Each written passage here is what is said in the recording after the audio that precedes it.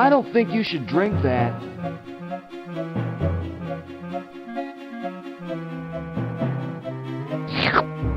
Nonsense. It makes me feel great, smarter, more aggressive. I feel like I could take on the world.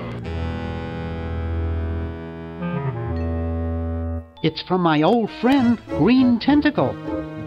He says that Purple Tentacle's mutated into an insane genius, and Dr. Fred's going to kill them both.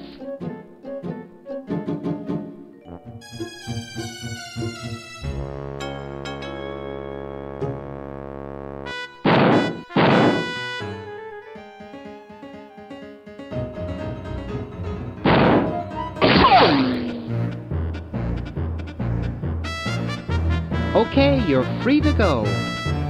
Now I can finish taking over the world. Well, what possible harm could one insane mutant tentacle do?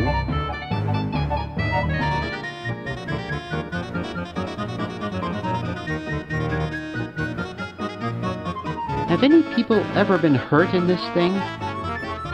Of course not. This is the first time I've ever tried it on people.